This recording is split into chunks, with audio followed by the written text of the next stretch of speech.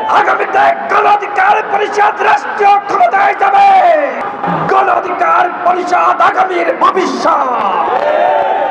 আপনারা সকলেই দেখেছেন, বিপ্লবের পরে আরেকটি প্রতি বিপ্লব ঘটিয়ে এই বিপ্লবের যে অর্জন, সেই অর্জনকে ধূলিসাৎ করার একটি চক্রান্ত শুরু হয়েছে।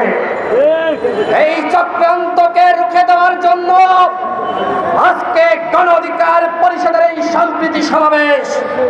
আজকে জনতার ঢল নেমেছে। মাত্র একদিনের প্রস্তুতিতে হাজারো জনতা এখানে উপস্থিত হয়েছে। এর মাধ্যমে প্রমাণিত হয় গণ অধিকার পরিষদ আগামীর ভবিষ্যৎ। আগামীতে গণ অধিকার পরিষদ রাষ্ট্রীয় ক্ষমতায় যাবে। রাষ্ট্রীয় ক্ষমতায় যাওয়ার মাধ্যমে এদেশের মানুষের ভাগ্যের উন্নয়ন করবে ইনশাআল্লাহ।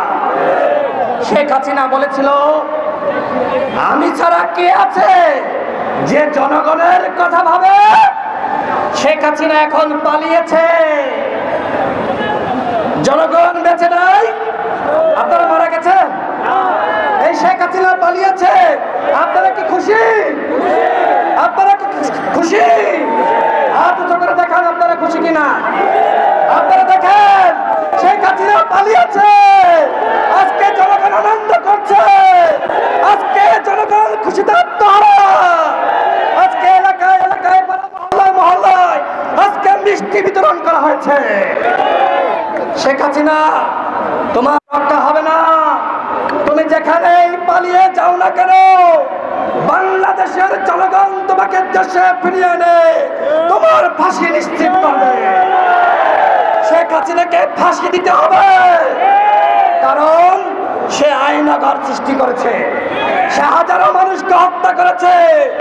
হাজারো মানুষকে গুম করেছে। বাংলাদেশকে রাজনীতি শূন্য করেছে।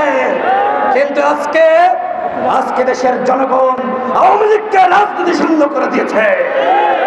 আওয়ামী লীগের নেতা কর্মীরা আপনাদের উদ্দেশ্যে বলতে চাই, আপনারা কেন আজকে এই সময় কি সুস্থ ছিলেন না আপনারা কি বুঝতেন না এইভাবে ক্ষমতা দখল করে রাখা যায় না।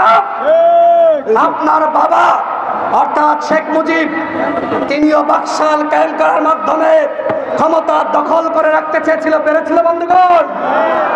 এদেশের জনগণ বাকশাল মেনে নেয়নি।